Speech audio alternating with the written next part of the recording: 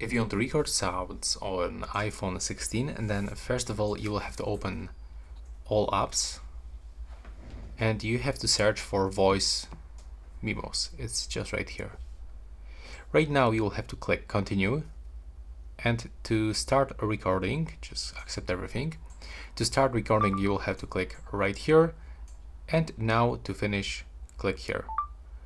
When you expand this menu you can also find some other options you can pause this, you can resume.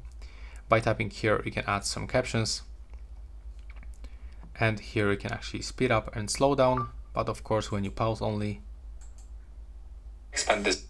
There we go. And here you can find all of your records. You can quickly send them. For example, you can edit recording. You can copy transcript, view. So yeah, that's uh, that's how it looks. And uh, thanks for watching.